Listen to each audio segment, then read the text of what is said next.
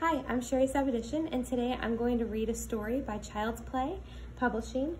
It's called Henry and Boo. Henry and Boo. Henry didn't know where Boo had come from. He simply arrived one day. Henry was having a nice cup of tea, and the next thing he knew, there was Boo, right next to the teapot. Boo! Okay, goodbye. Henry asked him to leave, but Boo just said, Boo! And everywhere Henry went, Boo went too. And Boo said, Boo! Boo! They're upside down. And everything that Henry did, Boo! Even when he washed dishes, Boo. Boo did too. And Boo said, Boo. Henry tried to ignore Boo. Boo. Boo. But Boo just said, Boo. Ooh, what's up here in the corner? It says bears keep out.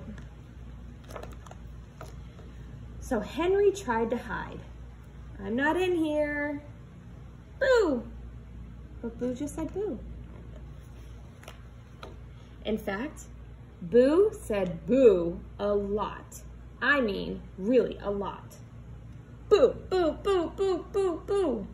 And quite frankly, Henry had had enough. Boo was driving him nuts.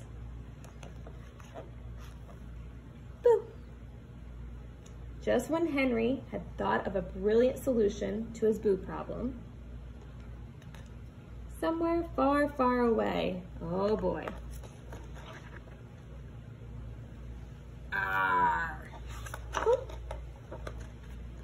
It looked fierce and it seemed hungry, and Henry felt quite faint. It's a bear. Ah! Boo! The bear's scared. Goodbye, bear. Boo, boo, boo, boo, boo! Wah! And the scaredy old bear fled. I think I like you, Boo.